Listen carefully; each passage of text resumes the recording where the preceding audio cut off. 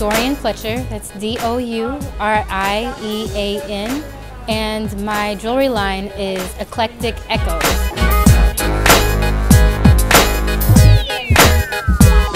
My jewelry line came to be um, about two years ago.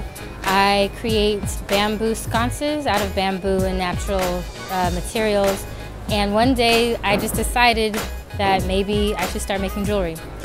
So um, I decided to use the same materials I was using for my bamboo sconces and one day I just posted on Facebook, who wants 10 rings and started creating them. They started working out so I just decided to continue.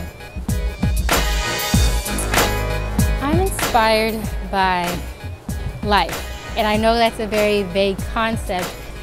The positive moments in life, the negative moments in life, I'm inspired by um, just indigenous culture uh, and the elements, so water, fire, uh, wind, earth.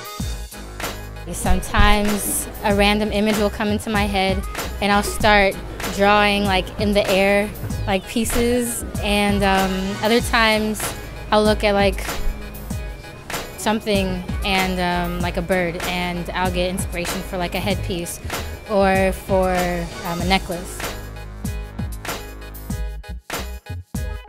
Lifetime aspiration would be to create a nonprofit or work with a nonprofit that takes uh, underprivileged kids to different countries, indigenous places, to show them jewelry techniques.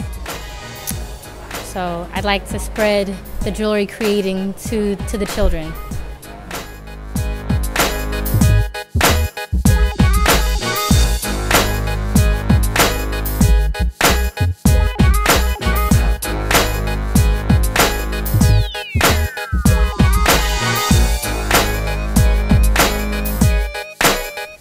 Find my work online at eklektikekhos.com. My name is Dourian Fletcher and I'm a raw artist.